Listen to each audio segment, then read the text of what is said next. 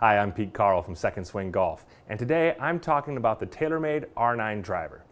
Now the R9 features a 430cc club face with a classic club head design. This helps increase the feel and responsiveness for the golfer off the tee.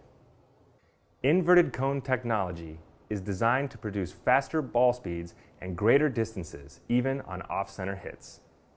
Flight control technology combined with movable weight technology allow adjustability of the loft face angle, lie angle, and center of gravity to affect side-to-side ball flight up to 75 yards.